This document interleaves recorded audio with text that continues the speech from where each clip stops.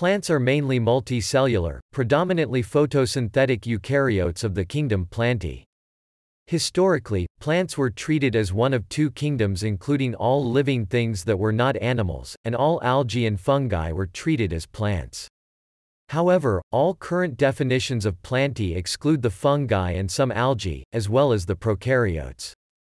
By one definition, plants form the clade Viridiplantae, a group that includes the flowering plants, conifers and other gymnosperms, ferns and their allies, hornworts, liverworts, mosses and the green algae, but excludes the red and brown algae. Green plants obtain most of their energy from sunlight via photosynthesis by primary chloroplasts that are derived from endosymbiosis with cyanobacteria. Their chloroplasts contain chlorophylls A and B, which gives them their green color. Some plants are parasitic or mycotrophic and have lost the ability to produce normal amounts of chlorophyll or to photosynthesize. Plants are characterized by sexual reproduction and alternation of generations, although asexual reproduction is also common.